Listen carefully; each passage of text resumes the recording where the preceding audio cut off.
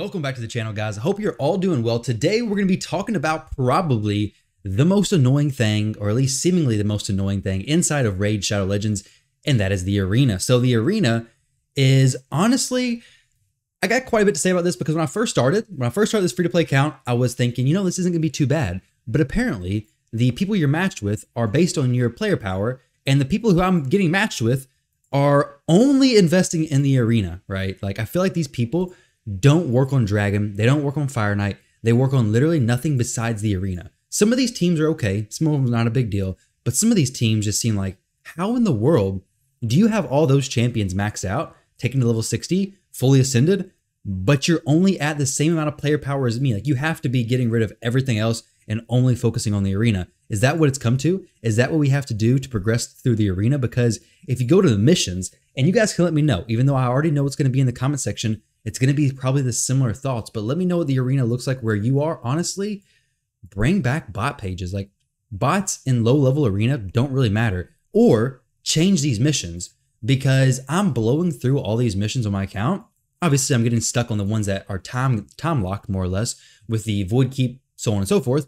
Uh, but once I get past this, everything else is easy. I mean, we have clear stage seven of the hallowed halls on brutal.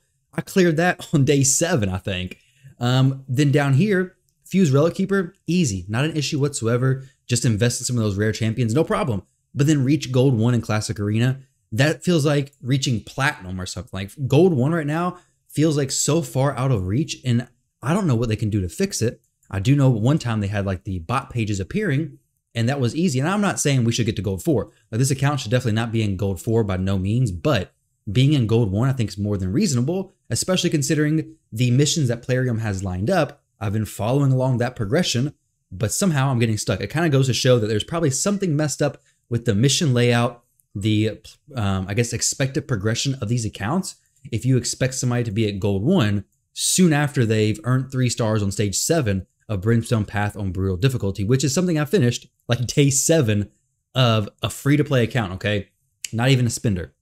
So make sure you guys know that. Um, but besides that, obviously we got to do the missions, right? We have to do this content. So might as well make the best of it and see what we can do to progress. So if you've been following along, which I'm going to go ahead and assume most of you guys have, but even if you haven't, we're going to rehash this.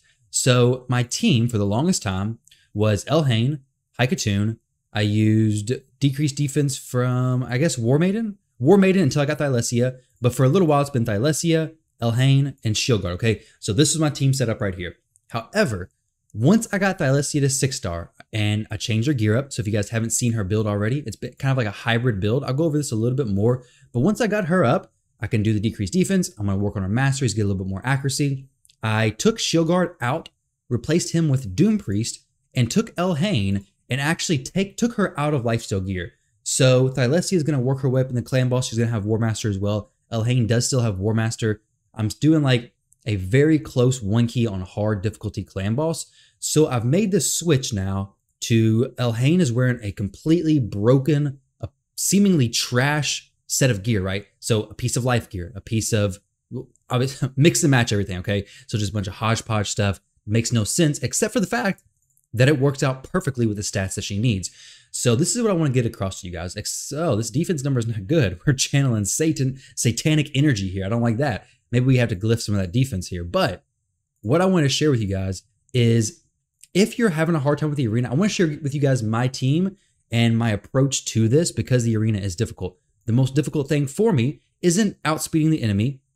My High Khatun is sitting at 227 speed, and she outspeeds most of the teams. Now, I got to be mindful, like I can't go in there against arbiters and expect to win, right? 30% speed aura, measly a 19% speed aura for me. So you got to be reasonable with what you're going against. But I can safely assume that most High Khatun teams I'm probably going to be faster than.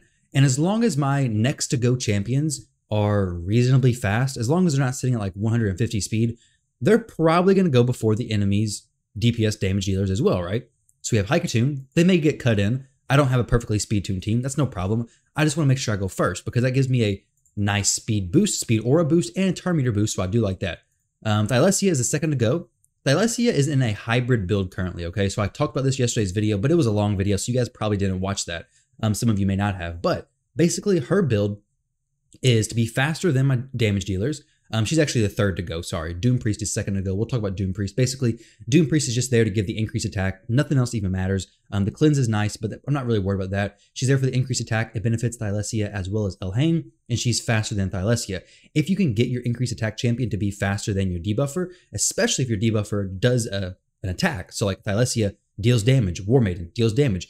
If you can get the increased attack applied to them, that's going to allow them to hit that much harder, right? So we have Doom Priest going first, Thylesia going second, uh, well, technically third, right after Doom Priest. Um, 183 speed, faster than Elhain, it's a number one thing. Um, good accuracy. Accuracy, I'd rather this to be 150. It needs to progress more and more as we push through the content. Dragon Stage 20, I'm going to need about 200, ac 200 accuracy to apply the debuffs, but right now this is working fine. It applies majority of the time in the arena, so it's no issue whatsoever. So the hybrid type of build that I've mentioned, basically what I have on her is crit rate gloves. So the most difficult thing I've noticed is killing the enemy in these matches. So I'm not having a hard time outspeeding people, just having a hard time killing them because if I get hit, I'm probably to die. So I have crit rate gloves, six star crit rate gloves I got from Farm and Dragon, which was super, super lucky. And then I just tried to fill crit rate out the rest of the place I could find. Now, if I wasn't able to get that crit rate close to 100%, which is 97, that's close enough, right? Um, it'll, it'll end most of the time, except for that 3%, which feels like it happens more often than it should.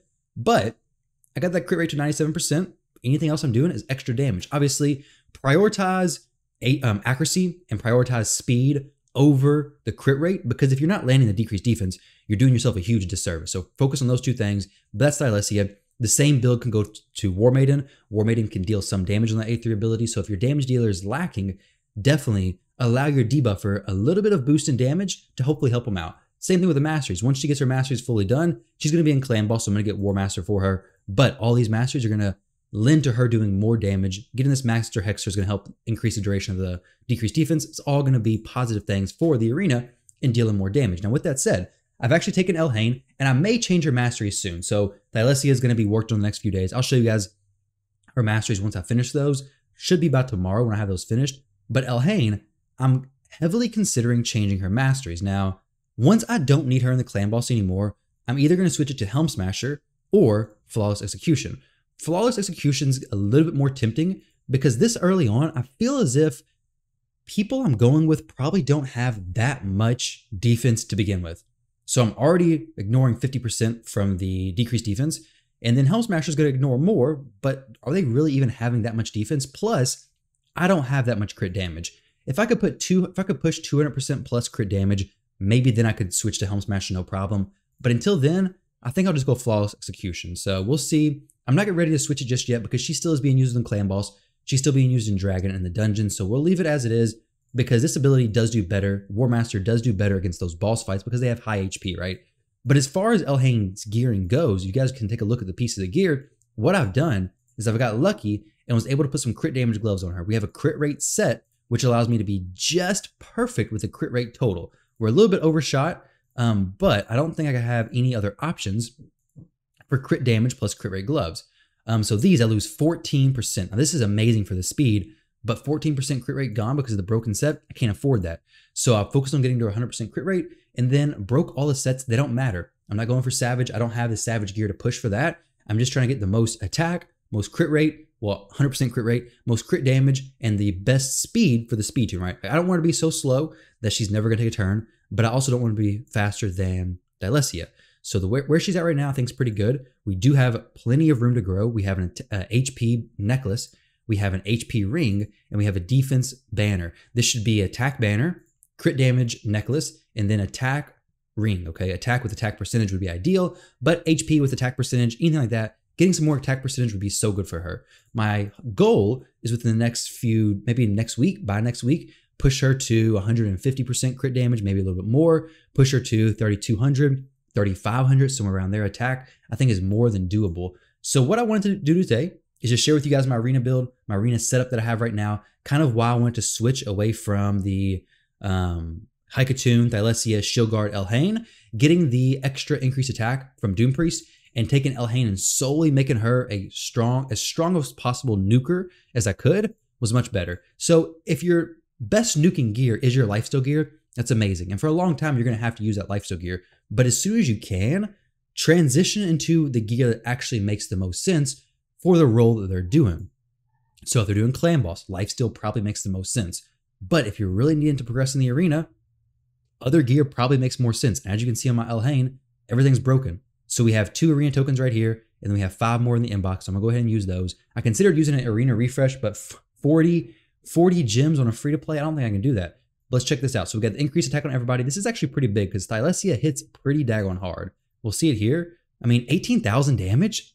She doesn't hit as hard if she doesn't have the increased attack on her. So having that increased attack is such a nice boost. Having Doom Priest go before Thylesia, if you have Spirit Host, works exactly the same. If you have Spirit Host and War Maiden, basically this team is still that core functionality of your basic High Khatun, Spirit Host, War Maiden, Starter Champion, Nuke. So the core functionality, similar setup, everything's the same. It's just these are like the next level. Basically, it's a basic speed team, what we have going on here. Hopefully, we can kill these teams. These are the kinds of teams, though, that I was having trouble with. These teams that are not fast, but they're level 60. They've probably been, been invested in enough to actually take some hits. We'll see. Maybe not. But if I don't kill them, then I'm going to get killed.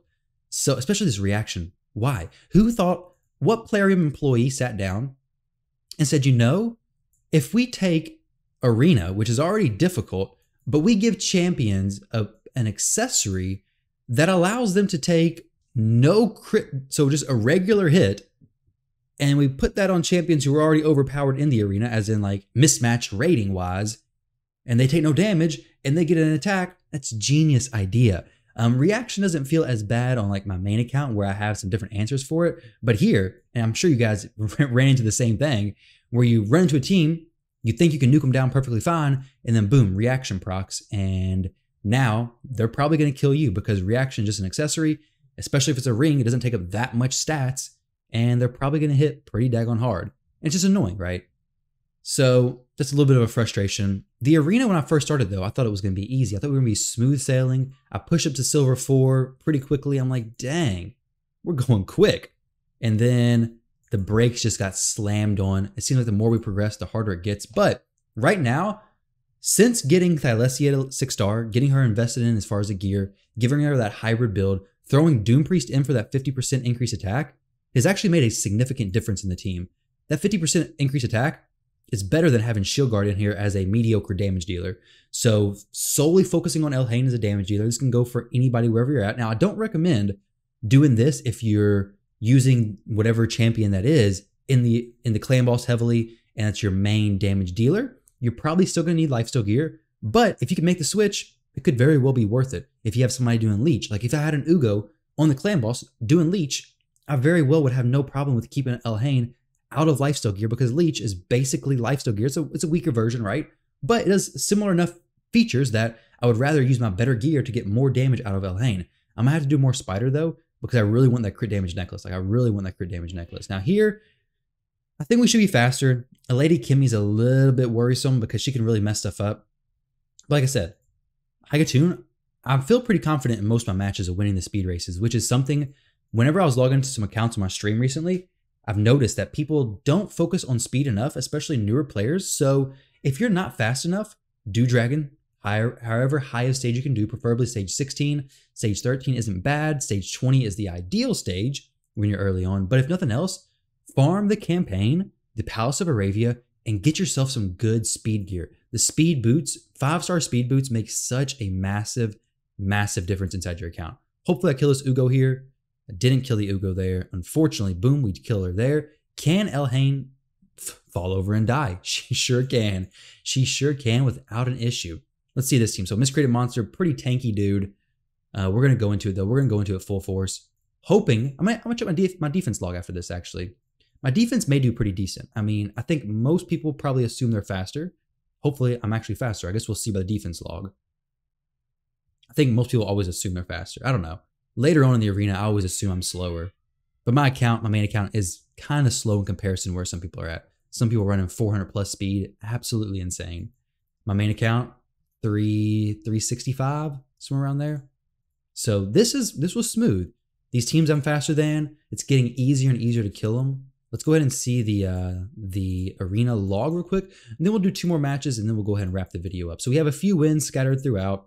Uh, the teams that are beating me, six, dang, Septimus, still the Drakes, you know, just typical teams you have at level 49 with 350,000 player power. Septimus fully ascended. Of the Drakes mostly ascended.